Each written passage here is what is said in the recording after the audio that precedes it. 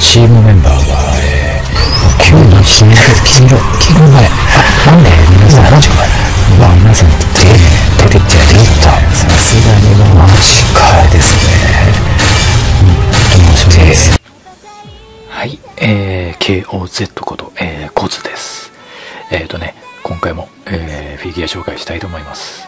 えー、見てわかる通り、えー、今回メガトレショップ、えー、ナルト疾風伝、渦巻きナルトと内葉サスケ、はい、こちらのね、えー、開封をしたいと思います。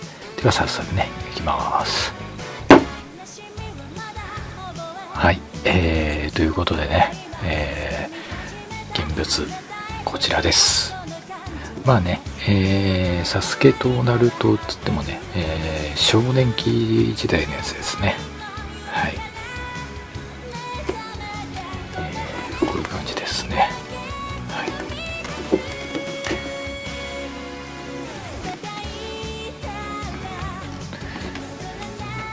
あのね、まああのちょっとね、あのまあ、フィギュア自体をちょっとこっからね見る感じで言わしてもらうと、まあ、ナルトはねほんとそっくりなんですよ。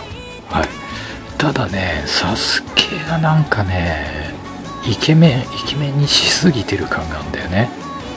うん。まあこっから見るとそうでもないんだけど実物見るとねなんかねやたらイケメン寄りしすぎてないかなと思ったらあの実際ね原型師がね違うんですよね。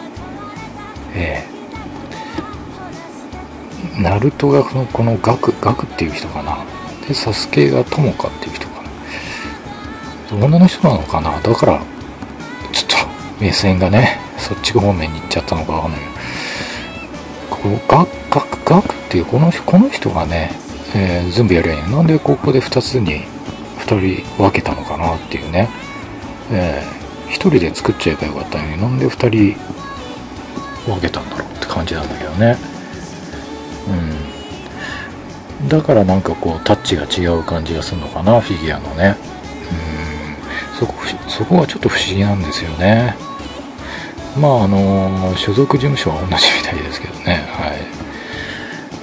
いやーそれがねちょっとねサスケもね同じ人が作ってくれたらあれだったんだけどな。まあ実際ね、まとりあえず中身を見てみましょうかね。はいとりあえずね。はい。はいえー、ということでね、えー実際箱から出してみました。はい。まあこんな感じですね、はい、やっぱサスケあれだよな。なんか顔違うんだよな。うん。はっきり言えば似てない。サスケじゃない感じがするね。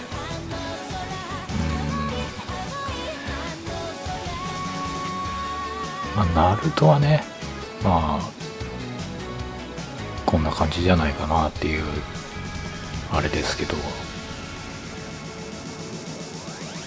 サスケこんな顔なんだっけ？うん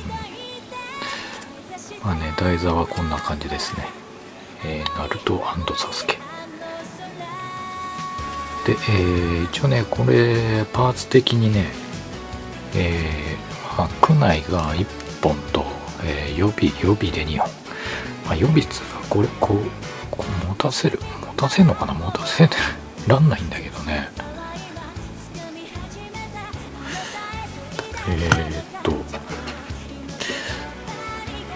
で、えっ、と、まあ、これが支えパーツ。で、あと、まあ、こちらですね。えー巻物持った手が付属します。まあ、こう、何書いてあるか全然わからないけどね。はいはい。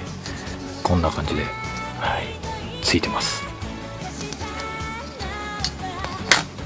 でね、実際原型は多分ね、こちらが多分、原型の絵だと思うんですね。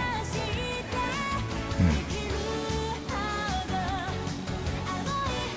あ、もう一個の、あれは、あ、家内は、サスケか。サスケにつけれるのかそっかはいじゃあちょっとね、えー、デパーツ変えてね、えー、ちょっと完全に体にしたいと思います。はい、えー、ということでね、えー、完全形にしてみました。はい。一応この支えパーツはどうやら巻物の先端につけるっぽいですね。はい。こんな感じで。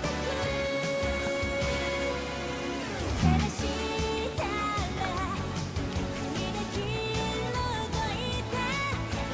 いいね。躍動感があっていいね。やっぱね。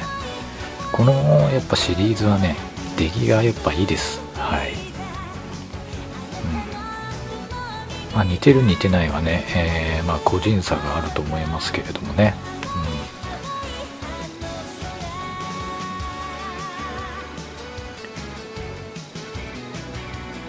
うん、いやこれはねほんと躍動感があっていいね、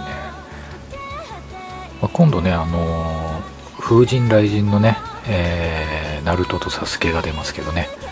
あっちもねすごいなんか敵が良さそうなんだよね。